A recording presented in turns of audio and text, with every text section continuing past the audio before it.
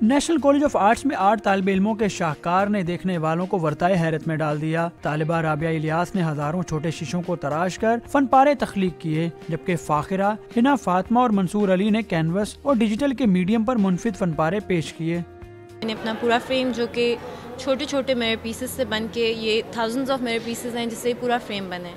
तो आप जब इसमें देखते हैं तो आपको एक्चुअली जो अपनी पर्सनैलिटी है, अपनी जो आपका, आप आपको अपना आप फ्रेगमेंटेड पीसेस में नज़र आता है। बेसिक टॉपिक है एक्सकवेशन ऑफ़ मेमोरी तो मैं मेमोरी को एक्सप्लोर कर रही हूँ थ्रू आर्कियोलॉजिकल नैरेटिव और मैं उसको एज अ वॉल दीवारों पर ऊपर एज अ पेंट होता है मैं उनको एक्सप्लोर कर रही हूँ। और uh, मेरे ख्याल से कि अभी I feel like I can do much better मैं इससे ज़्यादा अच्छा कर सकती हूँ काम।